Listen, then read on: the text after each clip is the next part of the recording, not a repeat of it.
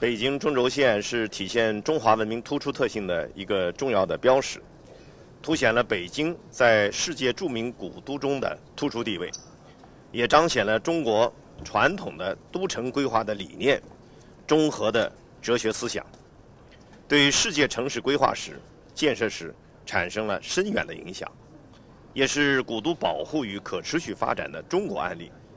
我们其实更多的做的是减法，净化了。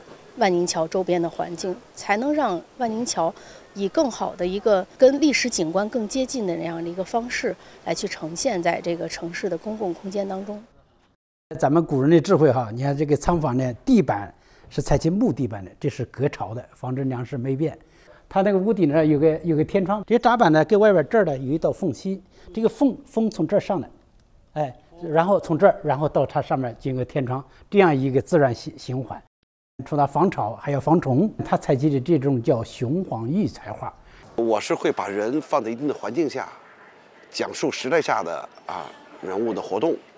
呃，我以为每一个与中轴线有关的人，他都有他的故事。呃，我也觉得这个无论是我们的社会、我们的景观，都是因为有了人，他才灵动了起来、伟大了起来、厚重了起来。所以我始终把镜头瞄准人，带动了我们周边。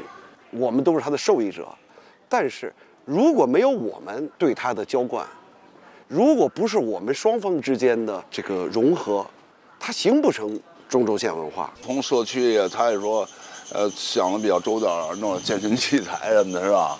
你过去你这啊，这个乌烟瘴气的马路也跟现在这路面都修挺好的。你再看看今天，然后呢，你再看看我画册的这个呃十年前。这个变化是非常非常明显的，无论从物质上，还是精神层面上，我觉得都得到了很好的提升。中轴线没有终点。